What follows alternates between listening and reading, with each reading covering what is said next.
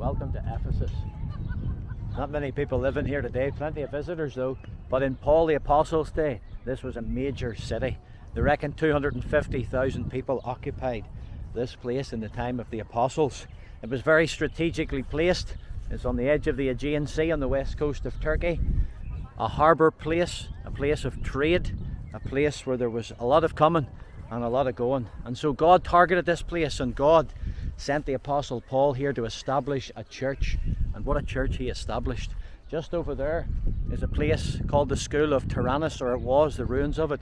And in there, Paul, for two solid years, taught every day the Lord Jesus Christ. He preached the Word of God, he taught the Word of God, and he established a church here that was rock solid. Granted, it lost its love by the time we come to the book of Revelation, but those early years, those early few decades in this church, it was on fire for God in the midst of a very hostile environment because here they worshipped Artemis or Diana of the Ephesians.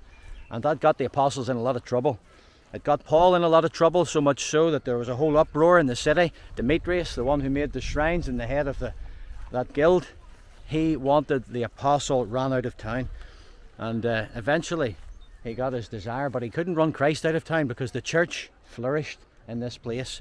And so much so that John the apostle came here with Mary, the mother of Jesus. Timothy came here. This was a significant site, and it's a significant site today because not only do we read about it in the Bible, but we come here and we walk through it and we prove that the Word of God is 100% accurate. God spoke about this place in His Bible.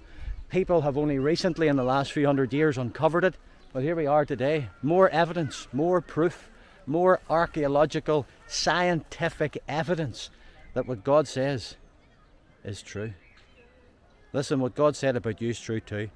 God said you're a sinner all have sinned and fallen short of the glory of God. That's true. That's true. For anyone who would care to examine their own heart in honesty, they'd have to admit you're a sinner. You've done wrong in God's sight. You've done wrong and you know it. But you know the beautiful news is that the gospel of Jesus Christ, God saves sinners. And if you humble yourself and acknowledge who you are, acknowledge what you've done wrong, throw your life at the Lord Jesus Christ in repentance and faith towards Him, then God promises you that God will make you a disciple and follower of the Lord Jesus Christ. You'll become part of the new covenant because the new covenant will become part of you. In that New Testament, God agrees with men that if men will repent and trust in Jesus Christ, then God will put His Spirit inside each and every one of us. Our thoughts will change, our hearts and desires will change, our whole lives will be utterly transformed. You know, this place has transformed quite a lot in 2,000 years. What it was then was absolutely beautiful, but now it's become a ruin.